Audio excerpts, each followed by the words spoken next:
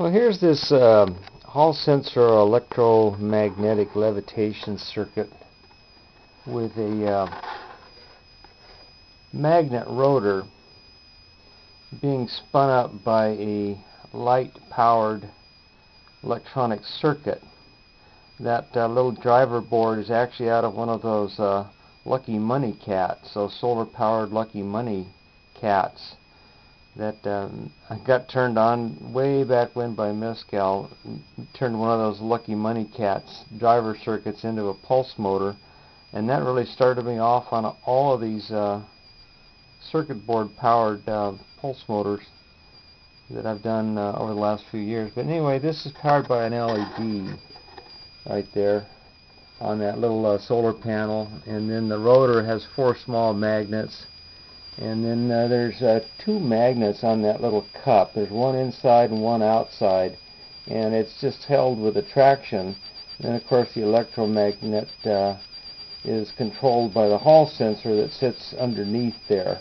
And then this dandy little circuit that I had so much trouble with controls the whole thing. And uh, that's uh, just running on a 9 volt battery. Draws a lot of juice, so I'm using a uh, rechargeable 9 volt battery. And um, usually I, I just hook a uh, wall outlet transformer up to it and it runs just fine as long as it's dampened out. But anyway, I thought you'd enjoy that. Uh, some of the guys that work on these pulse motors, there's a, a rotor that's completely levitated by uh, electromagnetic um, attraction. This is an attraction situation here where the coil is pulling up on that cup. And I'll show you the cup here. It's uh, it's actually a plastic shot glass that I trimmed and uh, that's all there is to it. Then there's a, a, magnet on the outside and a magnet on the inside and that's what uh, holds the thing.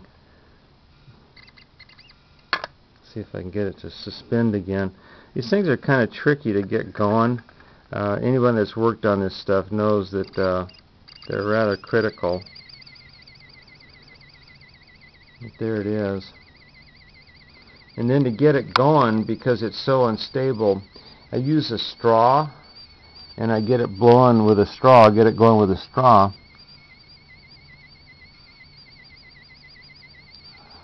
And after a minute or so that'll stabilize out and become stable.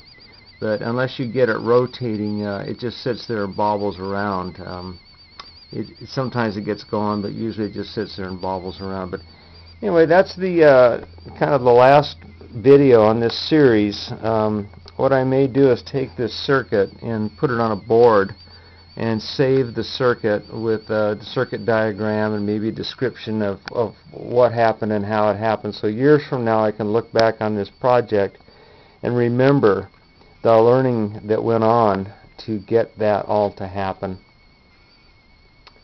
Thanks for watching.